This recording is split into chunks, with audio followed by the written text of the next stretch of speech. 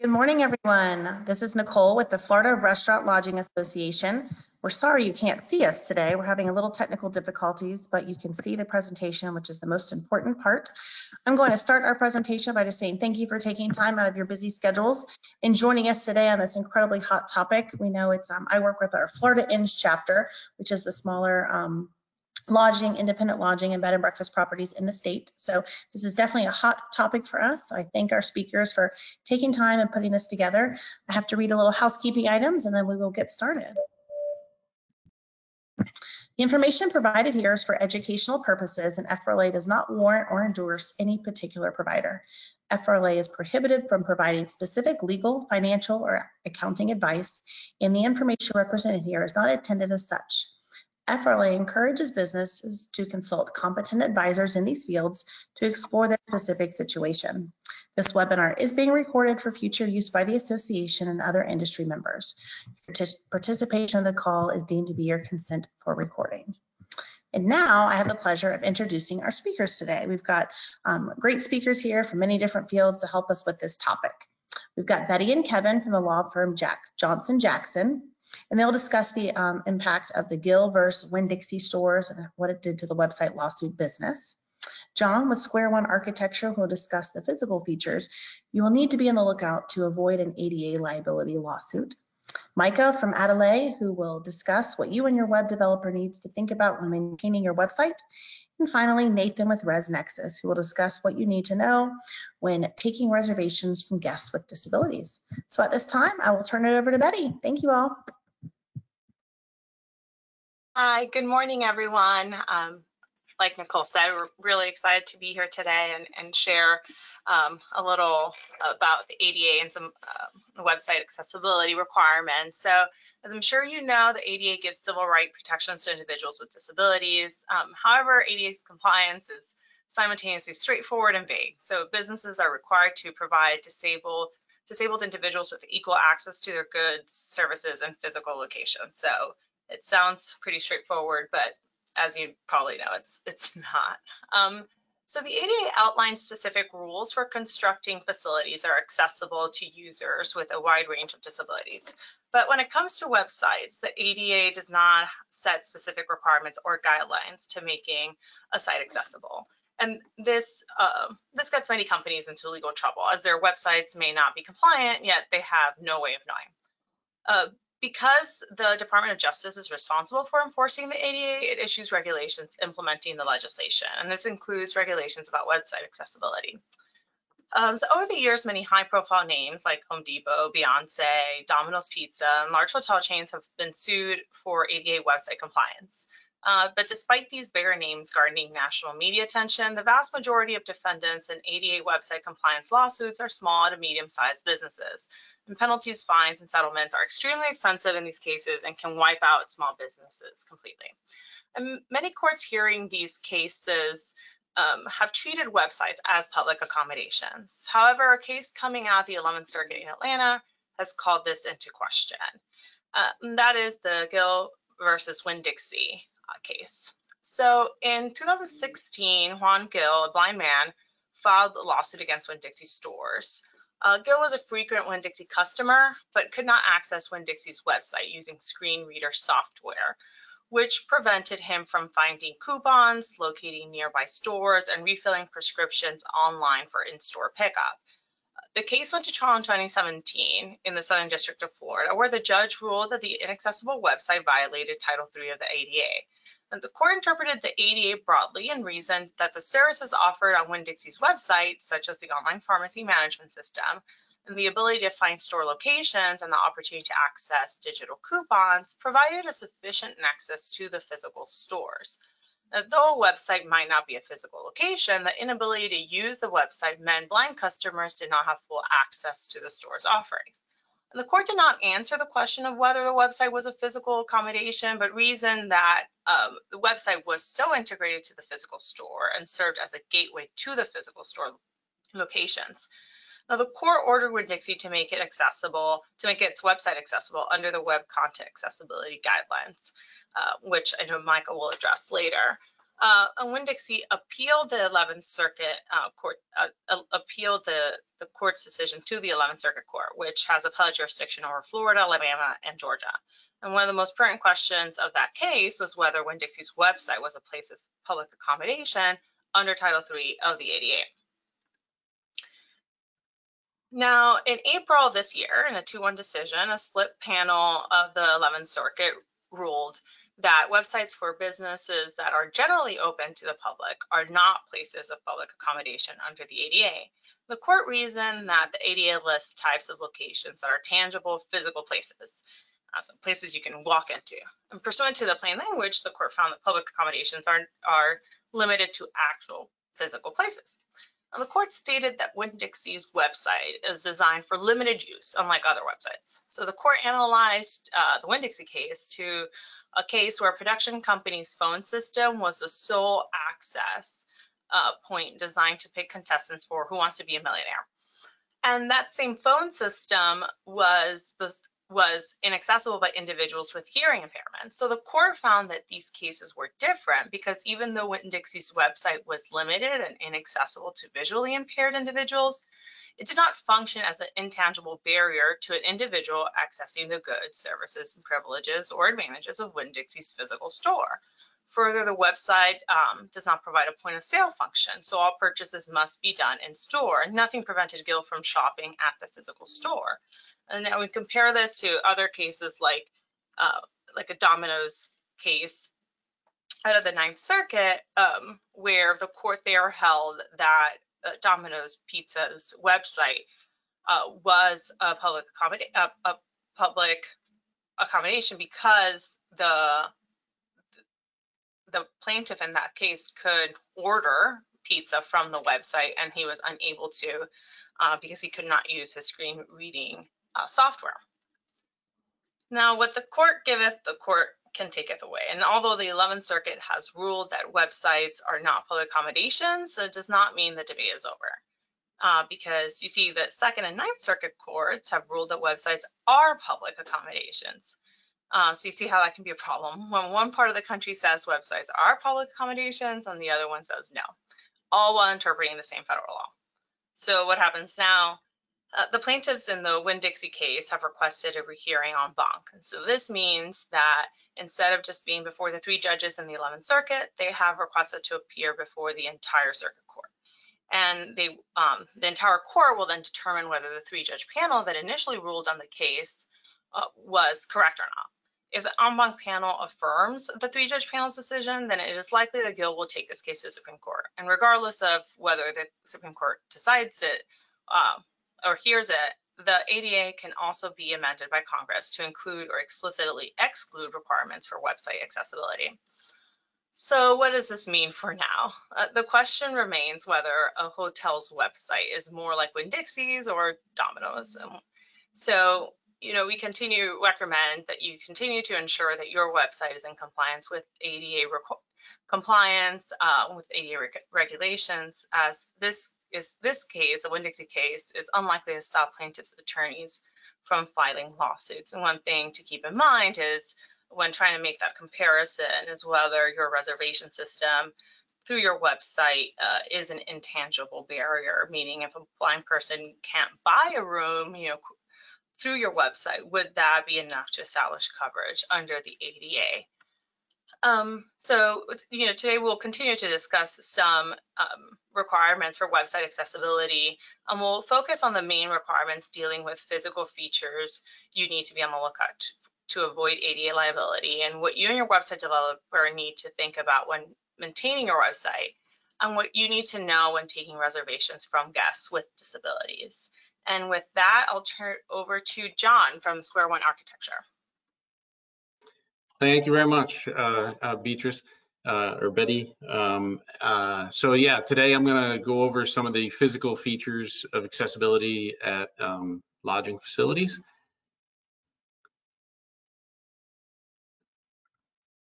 Oops, sorry.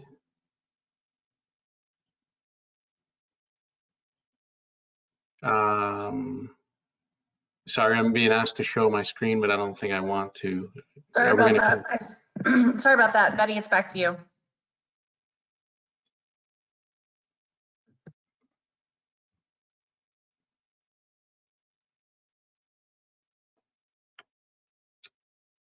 Sorry, do we have do we have the slides? Betty, can you just share your screen again? I apologize.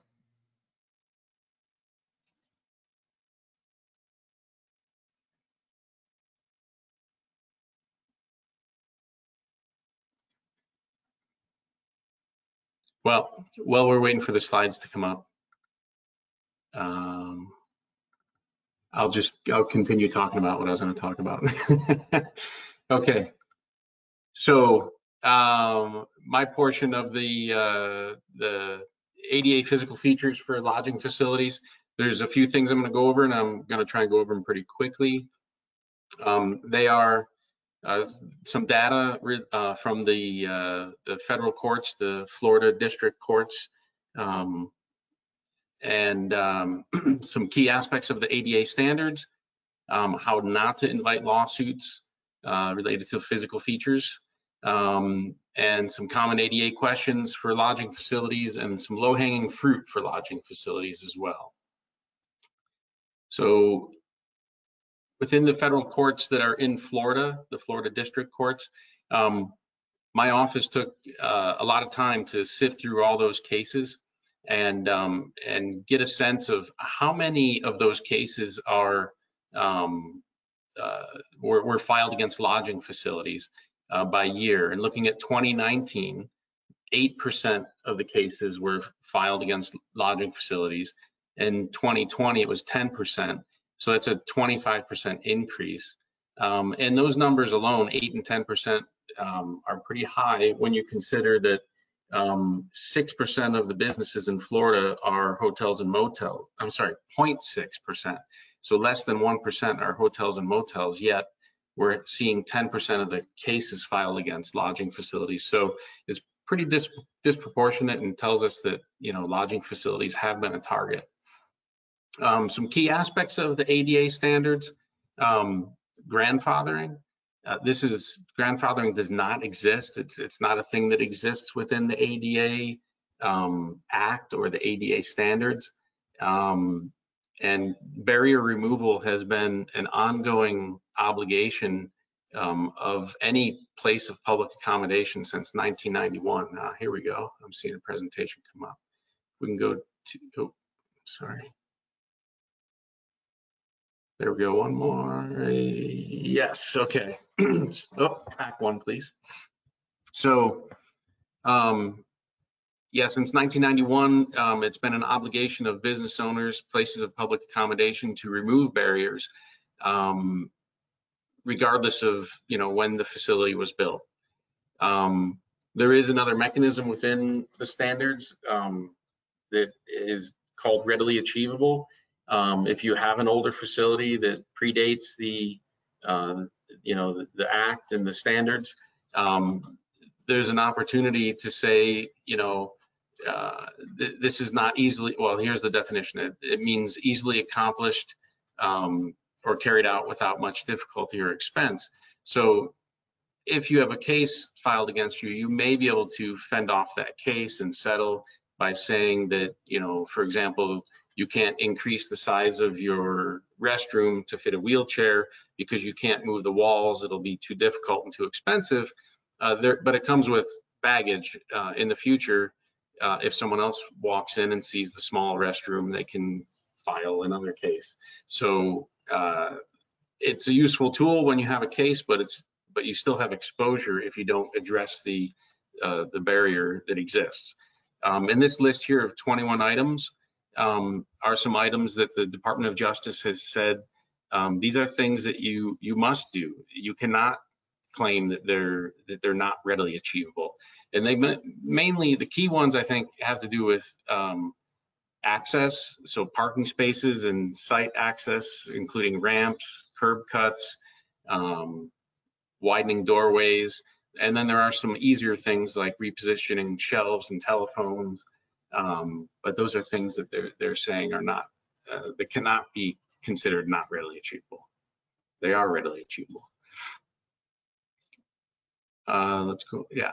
So this is a little diagram that I want to kind of give you some insight as to my perspective because I I do a lot of the I handle a lot of these cases and many of them you know, it's pretty obvious that some of the, the people um, looking to start a case will target certain properties um, based on what they can see from afar or a bird's eye view. So if you kind of imagine zooming back even further to like a Google satellite view, you may see that a lodging facility with a pool either has or does not have uh, a pool lift, or you'll be able to see if there's accessible parking.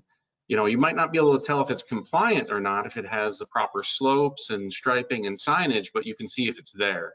You can see if there are curb ramps. You can see if there's, you know, easy access into the building. So that's kind of the, the first layer. And as uh, potential plaintiff um, walks on the property, drives on the property, enters the property, they can see more and understand more as they enter the door into the lobby. They'll have more information and understand more. But some of these things can be seen from afar, and some of them you have to get into um, the facility. And if if someone sees from afar that things are addressed, they might not, you know, put you on their hit list as a target. So I think that's important information for business owners to fend off lawsuits.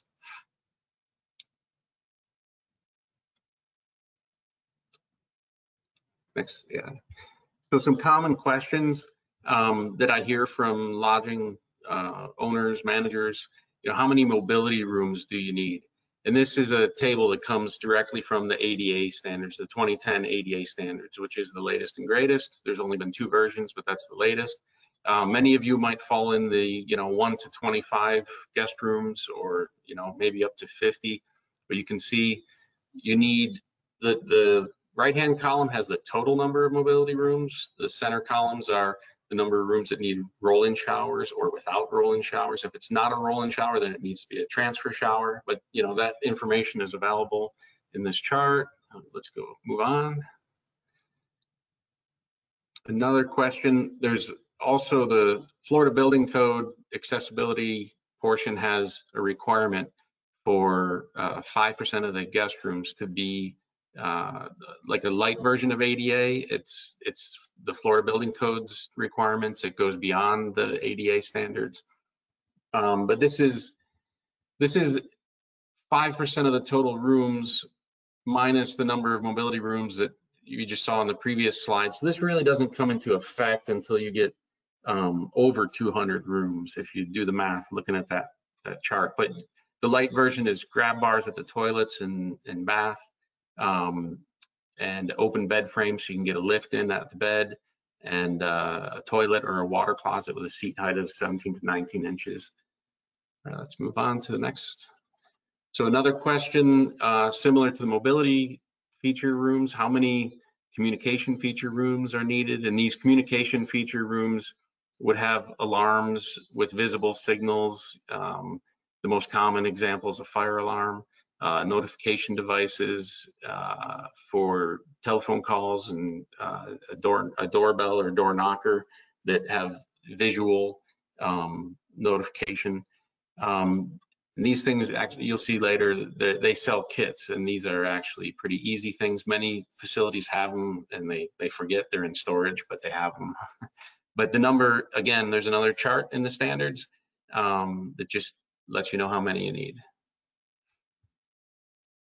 And then some of the low hanging fruit, um, these are the things that should be relatively easy to do um, and, you know, will be helpful when it comes time, you know, on your websites to uh, list the accessibility features um, to know that you can easily put in grab bars at the toilet or in the uh, showers or bathtubs.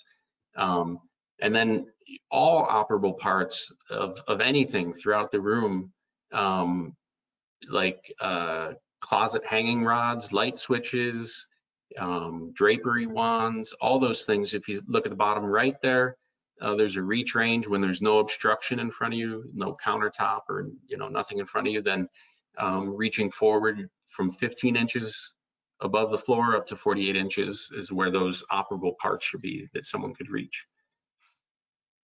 Uh, other low-hanging fruit, uh, the kits I mentioned, some of the stuff's a little bit outdated, but the kit on the left there um, has the hearing impaired, you know, phone system. I think a lot of people just use their cell phones now, which are much more advanced. Um, but you can see the fire alarm uh, with the visible uh, notification there.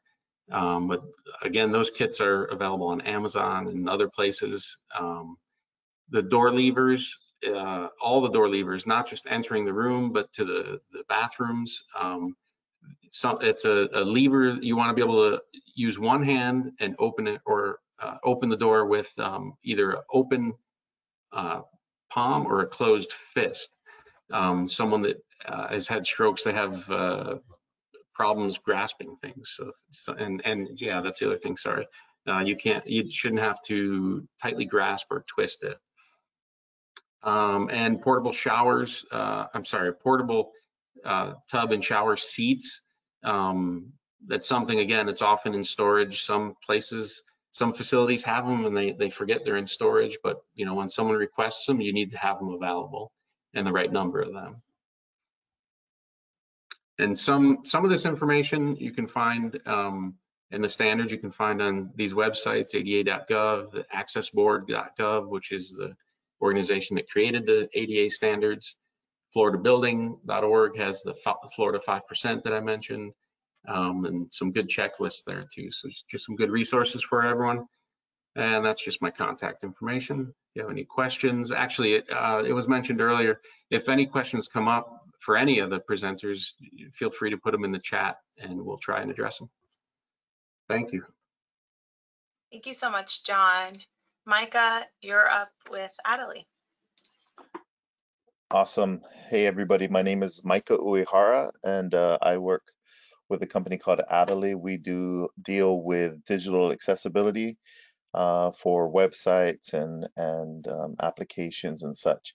And so um, I'm wanted to kind of think about what I could present today in regards um, to you folks, and uh, I thought that it would just be a good idea to kind of come up with some um, questions that you can discuss with your web developer or web designer today, um, specifically to do with um, your website and uh, web accessibility. So um, this is going to be a really high um, level overview um, for you folks. So uh, the very first question that um, I think it's really important to start a discussion with your um, web developer, web designer, is just being very direct and asking them which um, WCAG or WCAG standard that um, they are using um, for your website. And for those of you who um, don't know what the WCAG or the WCAG is, it's an international set of standards um, that is um, set apart by the governing board, the W3C, um, in regards to um, website content accessibility um, guidelines for your website and and um, web apps. And so, depending on the what your um, understand your web designer or web developer's understanding is of accessibility this will be a good gauge to see if they um, know a little bit about accessibility um, and if they don't then it would be um, I, you know, recommended that you look for a web developer or a web designer that actually understands a little bit about accessibility. So I'll just go into a little bit about what this standard is, um, what you should, what our recommendation is um, for the standard that you should be following within this. So within the WCAG or the WCAG, um, there are different levels. Um, the latest level is 2.1. It came out in 2018, I believe. Um, what we recommend as a base minimum um, that our our customers and clients are using the WCAG 2.0 standard. Um, and within the standard, there's different levels. So you have um, the A level, which is the least strict, and you have a double A and a triple A. So at a bare minimum, um, we recommend uh, users and our clients to have a level uh, WCAG 2.0 level AA. And what that means is, is it, it just means that you are a little bit stricter on what you're conforming to. And I'll just give you a couple of examples. So at a very base level, the the the WCAG 2.0 level A standard um, deals with things such as um, making sure that your website can be um, navigated with just a keyboard or other input devices. Um, you have video captions on your um, any videos um, that has audio and talking. and so these are very low level and low entry issues that you can take care of on your website. The the double A um, level um, within the WCAG 2.0 is a little bit stricter. It goes into um, more, it, it, it adds things such as contrast colors between um, your text and your background. So maybe you have some um, images that you've overlaid with some text and things like that. And if you don't have enough contrast between the colors, it makes it very difficult for um, users with certain types of disabilities um, to be able to see and to read that information. And so um, this is one of kind of like a little bit stricter um, conformance that your website needs to be. The other um, things that AA um, standard has is also making sure that your form fields um, are labeled correctly, that you have um, headings that are in logical order. It's just a it's just a checklist. So if you were just to do a Google search, there's tons and tons of information about the um, WCAG or the WCAG standard.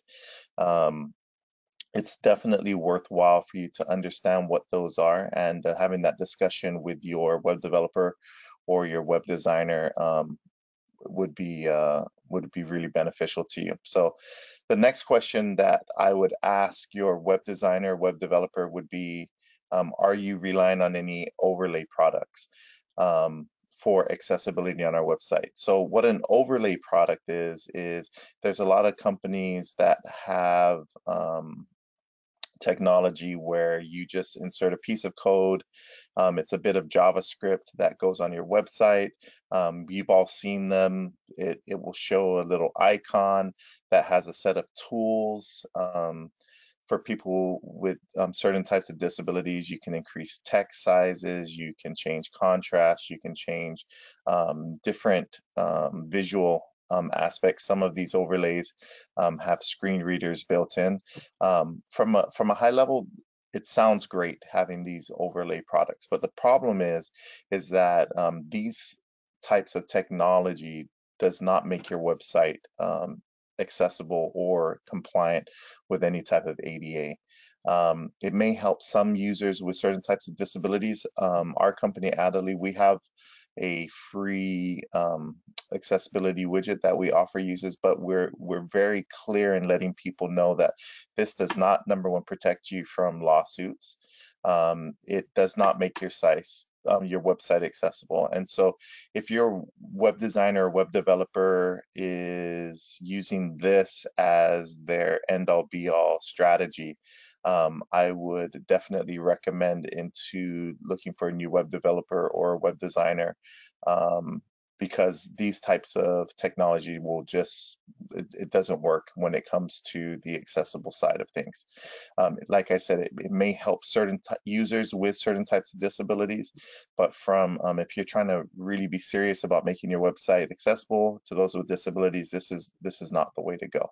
So that would be my um, my second question um, that you should ask your web developer.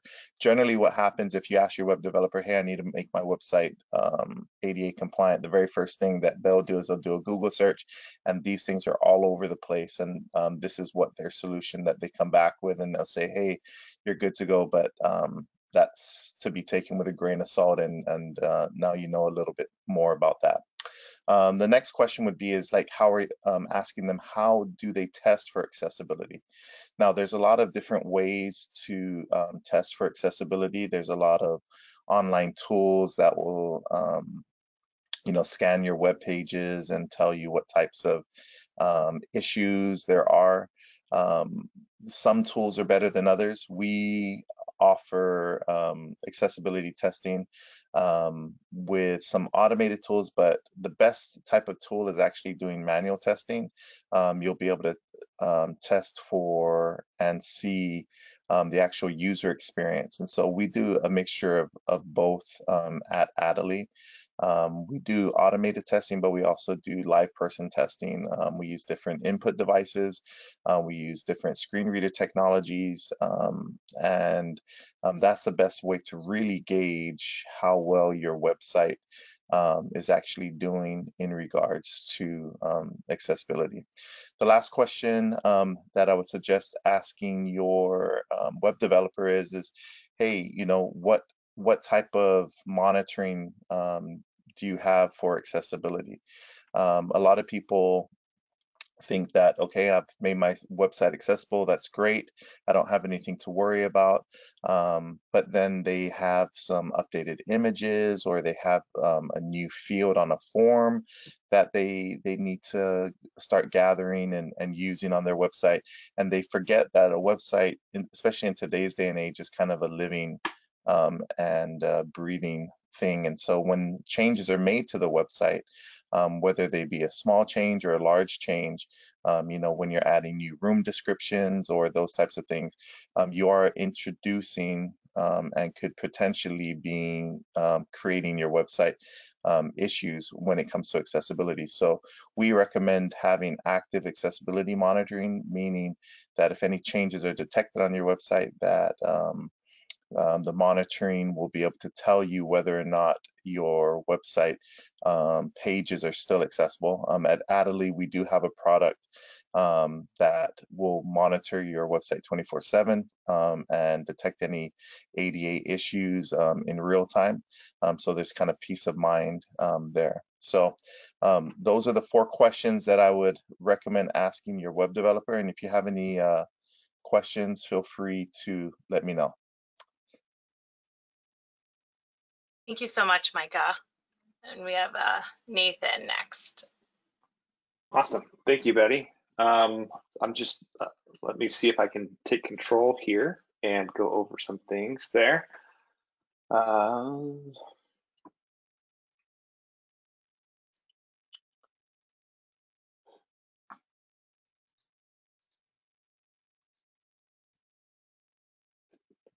it's thinking about it. There we go. Let's see here. All right. Okay, so hopefully everyone can see uh, this website. Uh, and thank you, Mike. I think that was uh, those were great points. I wanted to go over uh, maybe show some of the things he was talking about. Um, I find so I'll, my job today is to talk about um, more on your online booking engine, but it, it, it closely aligns with your um, website as well. Because a lot of times, um, if you're getting a legal notice from someone, they don't make that distinction. But I wanted to go over some of the things that even Micah just said really quickly. This is what he's talking about as far as being an overlay product. This is called um, the UserWay app. This is uh, free, but what people do use is they use this to, um, for de depending on their disability, do uh, have some tools that that uh, modify your website without you having to do anything to it. Um, they're useful tools, but like Micah said, they're not an end-all be-all. And if you just put this on your website, it doesn't guarantee that you'll be ADA compliant. It is something nice to do, and it does help in that regard. Um, the other thing that uh, is generally the biggest thing that uh, with ADA compliance or some big ones that we find when we're doing websites that people miss is uh, having alt tags over your pictures. So if you hover over something, and I did this as a sample, um, like if I click on this, it says placeholder up here. This is a this is an alt tag, or basically for a screen reader that people who have um, disabilities um, with uh, visual disabilities, it reads what the what this picture is, and you want to put a good description in, and I'll show us a successful example of that as well. The other thing that makes it hard is although the WAC or the ACG um, guidelines are in place and are internationally uh, you know recognized. The problem is the Department of Justice has that as the de facto, but they haven't come out and uh, said what is the what is the absolute standard that we have to follow. Unlike with physical ADA on website ADA, it's more nuanced and it, it does evolve based on technology, but there's not a hard and fast standard. So uh, like Micah was saying, a lot of times it is just how usable is it, but the clear ones are if, if you can tab and, and use the keyboard to do different different things on your websites, um, the, then that's a good one. The other thing is those alt tags I was mentioning on pictures and having enough contrast and, and some other technical things. When it comes to your booking engine, there are some, so with Title III, there are some things that happen in that domino case that I see a lot with ResNexus that comes up. And that is, um, they basically usually have uh, on the on the lawsuits that I see, they basically do uh, two or they do, uh, and and we have this on a slide later in the presentation. But basically, what happens is they have uh, these sections that they they usually list on people who have an uh, a website or a booking engine in violation of what they consider to be ADA. Um, and so basically wanted to go through that and show you what they mean by this. So basically, uh, the first one that they come up is modify its policies, practices, or procedures to ensure that individuals with disabilities can make reservations for accessible guest rooms during the same hours and in the same manner as individuals who do not need accessible rooms. So this came from the Domino's case. Basically, remember they mentioned, hey, I, I want to order online just like anybody else. You, if your website allows you to shop online, it can't exclude uh, someone based on a disability. So they need to be able to perform the same functions. And that's what kind of happened with that Domino's cases. Domino's argued, hey, they can call into the store and still get a pizza. But the person was like, no, I want to be able to use your app to do it. I don't want to have to call. Um, therefore, it's discriminatory. And so basically, uh, if if they if if they need to be able to book a room on your on your website, they need to be able to book a room on their, your website. So that's what you allow.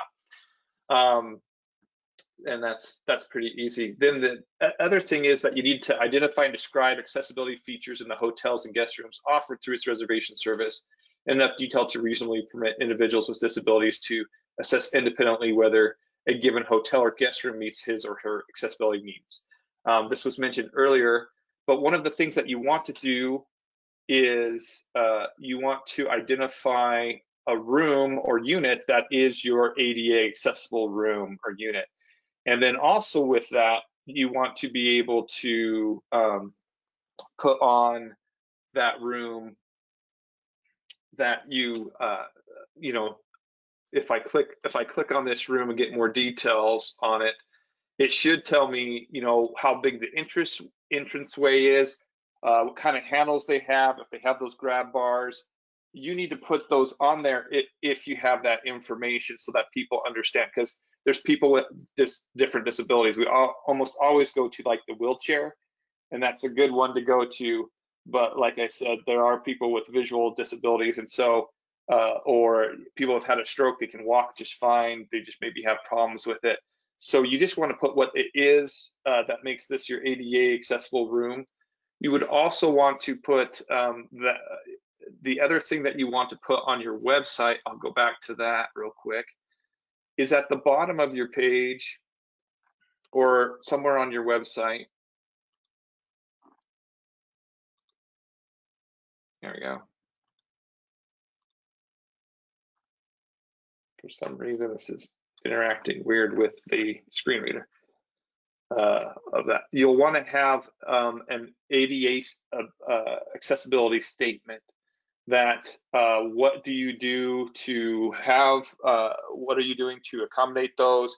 Depending on the size of your property, are you exempt from it? Um, one of the things on the federal Title III that you're exempt on is that if you have a, uh, if you're an owner occupied property with more than five units, or uh, then you do have to follow ADA compliance. And if they live on prop, but if you're five units or less and you live on property, um, then you don't have to do some of the ADA compliance Um, also, if you're a religious organization, there's some exclusion, as well as historic properties. But with historic properties, um, they're exempt from certain aspects of Title III, but not necessarily all of them, especially when it comes to getting into uh, the building, uh, as was mentioned earlier. So you'll want to have this on your on your website somewhere. And We also recommend that you put it on your, if, if you have it, put it on your online booking engine.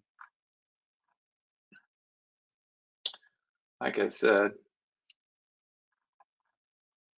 this GoToWebinar's doing something funky with my my preview here. So I would recommend you put it on your your your booking engine as well. Uh, with ResNexus, this comes automatically, and we do it, and we also handle any, uh, and we and we set that up for you. But going back to the individual room, you'll want to put those you'll want to put those descriptions that are on that room. The next thing that you want to cover is basically the third thing is ensure that the accessible guest rooms are held for use by individuals with disabilities until all other guest rooms of that type have been rented and the accessibility room requested is the only remaining room of that type. So basically, if you're a smaller property, you can't rent out this ADA accessible room unless it's your last unit.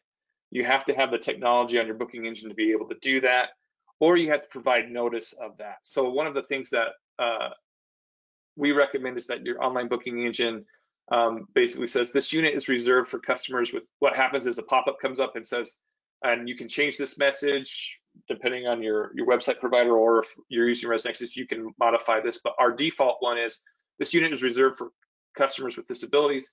If you do not have accessibility needs, please click cancel and select another unit. If you do not meet the ADA requirements for this unit, it is not and it is not the last unit available. We reserve the right to change your reservation to another unit without your permission to accommodate customers with qualifying disabilities. So this this is a necessary um, this is a necessary um, warning that you do and also a legal description that lets you um, do what you need to if someone has it. Because on this guideline, basically um, uh, three and five go together in the sense that you have to guarantee that that accessible room is is reserved for someone with special needs. And if you had a, a scenario where someone walked in that needed the ADA room um, and it was a and it was booked, but you had another ADA room not available, uh, you would move that guest from that ADA room uh, that doesn't need the the that doesn't meet the ADA requirements to the to the non ADA room and put the other person in. That's what's required by uh, this guarantee that specific accessible guest room reserved through its reservation service is held for the reserving customer.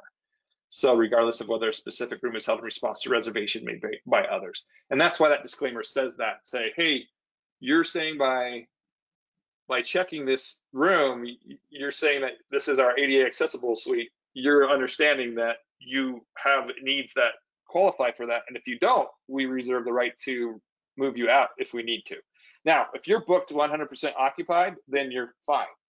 Uh, but if you're not on this day and that happens, this is a complete outlier scenario. How often is it going to happen? Not very often, but you are covered with that. Hey, we reserve the right to change your reservation if if someone needs it.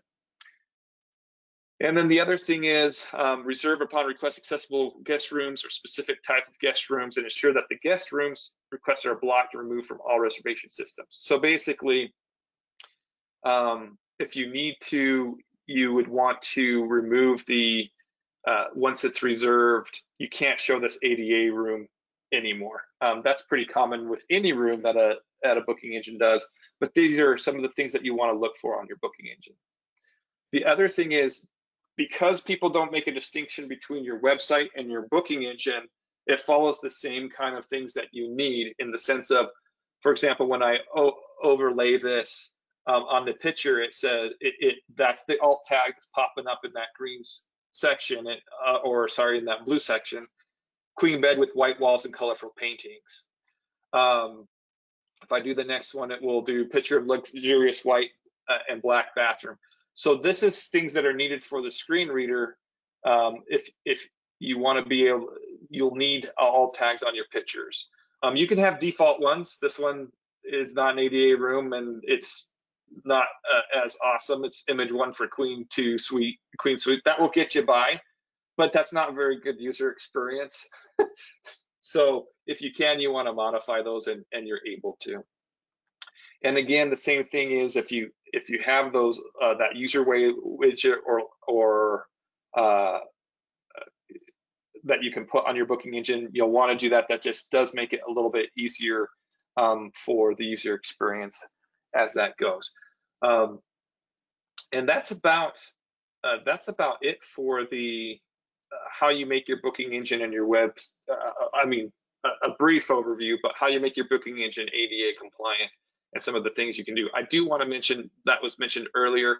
One of the things on your website or your booking engine that people do that we've noticed um, is of the advocacy groups that target our properties are, are, generally what I find is they they come along and um, there's someone that not necessarily even wants to stay at your property, but they go to book on your website and they see if you have a room that's uh, designated, if you're talking about on your website how to how where the wheelchair ramps are and those different things. If they don't see it on their website, then like as mentioned before by um, by John, um, they'll start to they'll start to target you. And um, like for example, this picture is a beautiful picture, um, but they might start to target you because they don't see a, a, a ramp or a, a lift that's on the pool. So just be careful when you're putting on pool pictures or those different things. If it's not in the picture, maybe you put that in the alt tag, a picture of pool with lounge chairs and has accessible lift or something like that that's how you avoid the the the drive-by um, lawsuits that we see that are prevalent, um, where people are targeting you and then they they go and do that. Um, hopefully, as it goes up the courts, as mentioned before, some of the frivolous lawsuits will be dropped. Um, I, I, know that I've seen it's usually the same person suing hun, you know hundreds of properties over and over again. Uh, uh, saying that they they wanted to stay there, but they never book. Uh, they're just looking for those infractions, and a lot of times they're just looking for you to settle and not go to court, um, or to go get or to be overwhelmed in that emotion that happens on there. Again, I'm not providing legal advice, but just know that that's what they're looking for when they're targeting your business. And I'll go ahead and turn the time back over to Betty.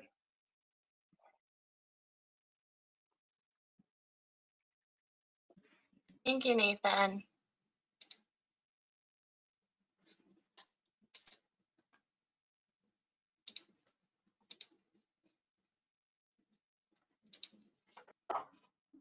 Okay, and I think we've um, come to the end of our program. Not sure if, um, if any of y'all have any questions. Um, get put in the questions bar. I know Nicole's gonna take over now. Betty, while Yes, people hello. are typing in questions, can I summarize real quickly? Yes, of course, Kevin. Sure. So this is Kevin Johnson, and I'm work with Betty at Johnson Jackson. And just as a quick summary of what we've talked about today, you know, sometimes we have clients that come to us and say, well, I don't understand why I've got another ADA lawsuit coming. You know, I worked with you last time and we got all the rooms fixed and we got the ramps built. Why am I still getting sued? And the reason we have three different experts on this call helping us today is because there's really three different buckets that you have to take care of in, in terms of being fully covered. The first one is your physical layout needs to be completely accessible, or at least to the standard of, of readily achievable. And that's where you would call John or someone like him and get help with your physical layout. The second thing that you need to cover, your second bucket, is your website. It needs to be accessible to people who are visually disabled or have other types of disabilities that affect their ability to use it. And so that's why you would call someone like Adally. And finally, your reservation engine needs to be set up so that you're taking reservations in the right manner and you're saving rooms and doing that according to the rules set out by the DOJ and their regulations. And that's why we needed ResNexus to help us talk about that. So there's three different buckets that you have to cover and you have to get all of those taken care of before you're in compliance. And that's why it's important to know how all these fit together. I wish we had better news for you on terms of, you know, that this was definitely all going to go away realistically, we think that you know there's going to be you know further challenges to uh, the 11th Circuit's ruling. It's going to have a tough road to hoe, both at the en banc setting and probably at the Supreme Court. And even if it survives to the Supreme Court, I would bet that we'll see some legislative action to try to uh, bulk, bulk up the ADA, just like they did the last time when, when Congress got unhappy with how the courts were interpreting the ADA, they stepped in and expanded the definitions. So I think you can expect that that's probably what we're looking at over the next several years. And there's every incentive to continue focusing on website compliance and on overall ADA compliance and trying to get it right in the meantime. So do we have questions? This is Nicole, and at this time, I don't see any questions in the question box or chat. Just give everybody another minute or two if you have any you'd like listed.